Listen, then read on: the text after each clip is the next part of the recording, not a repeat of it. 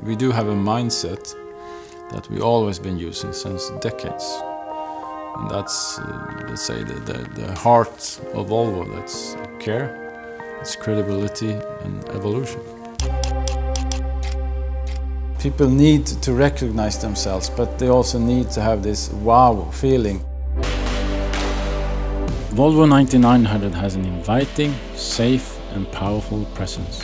The Volvo emblem and the V-shaped lights create a strong identity even from a distance. The front of the coach has a friendly and confident face and excellent aerodynamics.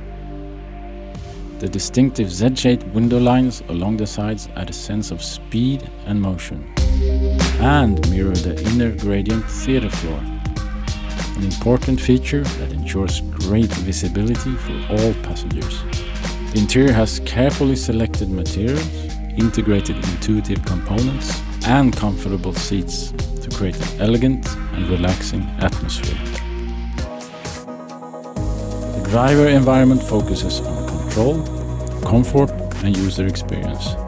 Drivers are the ambassadors for both their companies, but also for Volvo. I think that uh, design is boring or bad only if it loses its relevance.